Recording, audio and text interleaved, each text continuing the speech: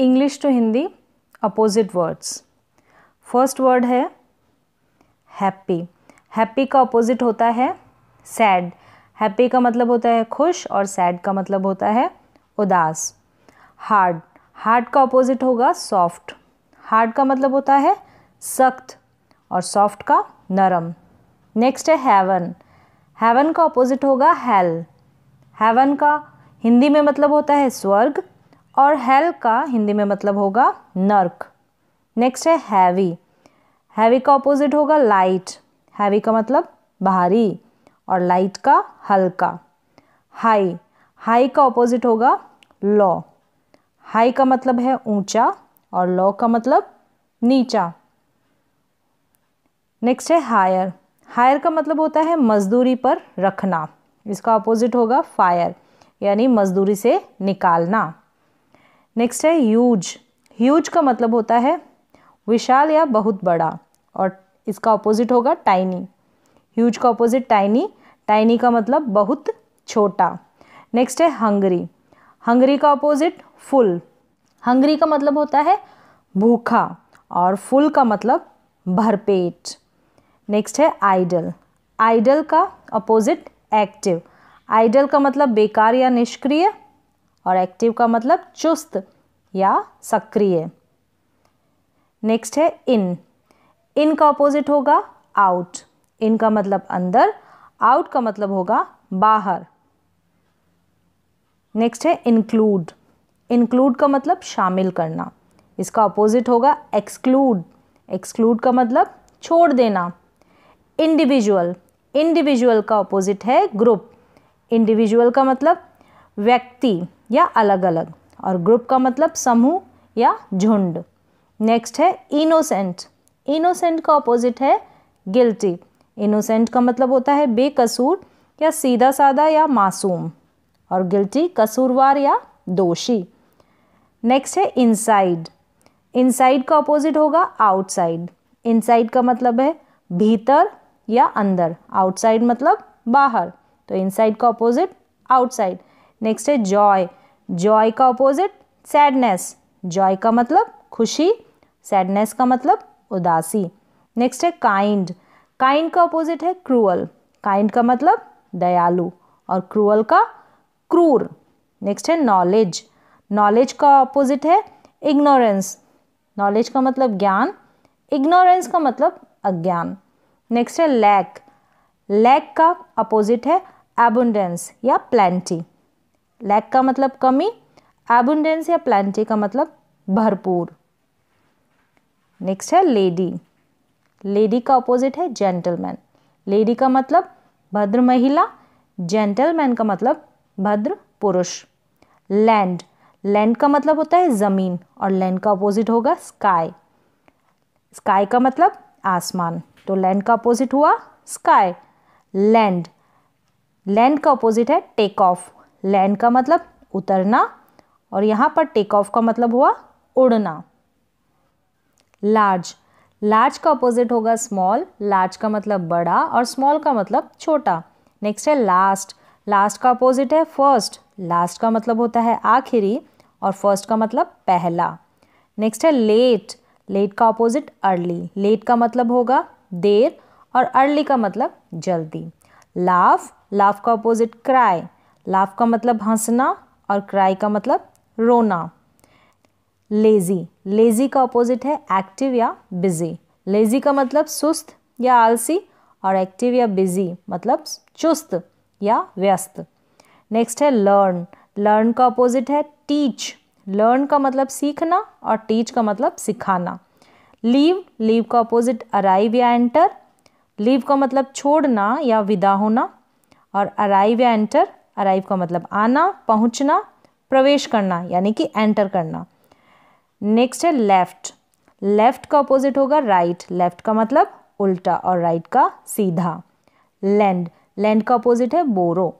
Land का मतलब है उधार देना और बोरो का मतलब उधार लेना। नेक्स्ट है लेस लेस का अपोजिट मोर लेस का मतलब कम और मोर का मतलब ज़्यादा होना। नेक्स्ट है लेट लेट का अपोजिट है फॉबिड लेट का मतलब जाने देना या अनुमति देना और फॉबिट का मतलब मना करना या रोकना। नेक्स्ट है लाई लाई का मतलब होता है झूठ और लाई का अपोजिट होगा ट्रुथ ट्रुथ का मतलब सच. फिर से है लाई इस लाई का मतलब है लेटना या आराम करना और इसका अपोजिट होगा स्टैंड खड़ा होना. स्टैंड का मतलब खड़ा होना. तो लाई का ऑपोजिट हो गया यहाँ पर स्टैंड और यहाँ पे लाई का ट्रुथ नेक्स्ट है लाइफ लाइफ का अपोजिट होगा डेथ लाइफ का मतलब है ज़िंदगी और डेथ का मतलब है मौत। नेक्स्ट है लाइट लाइट का अपोजिट होगा डार्क या हैवी लाइट का मतलब होता है प्रकाश और डार्क का मतलब होता है अंधेरा। और यहाँ पर हैवी का मतलब होता है भारी और इस लाइट का मतलब होगा हल्का। तो लाइट का अपोजिट डार्क भी होता है और दूसरे लाइट का मतलब होता है हेवी यानी हल्का, भारी।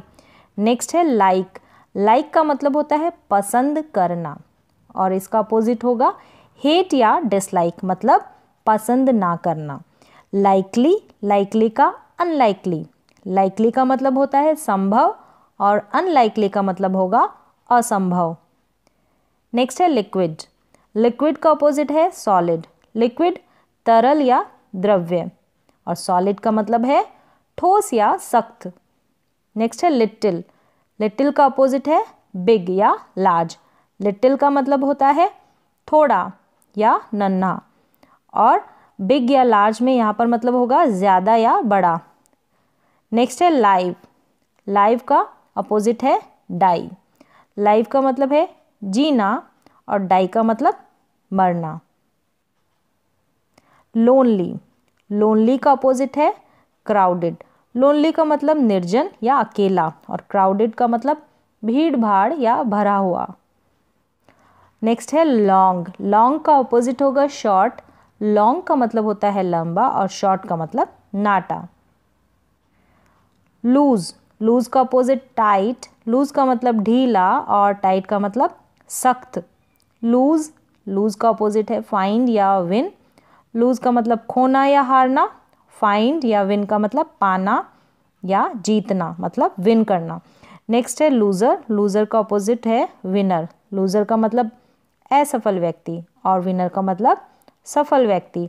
लॉस्ट अपोजिट होगा इसका फाउंड लॉस्ट का मतलब खोना और फाउंड का मतलब पाना. लाउड लाउड का अपोजिट है क्वाइट लाउड का मतलब ऊँचे स्वर से या तीव्र क्वाइट निशब्द या शांत या मृदु। लव लव का अपोजिट है हेट लव का मतलब प्यार और हेट का मतलब घृणा। लवली मतलब प्यारा लवली का अपोजिट टेरिबल मतलब डरावना या भद्दा। लो लो का अपोजिट हाई लो का मतलब नीचा हाई का मतलब ऊँचा। लोअर लोअर का अपोजिट रेज लोअर का मतलब कम करना रेज का मतलब बढ़ाना. मेज़र मतलब बालिग माइनर नाबालिग या मामूली. तो मेज़र का माइनर मेल फीमेल मेल का मतलब पुरुष फीमेल महिला. मैन का वुमेन मैन का मतलब आदमी और वुमेन का मतलब औरत.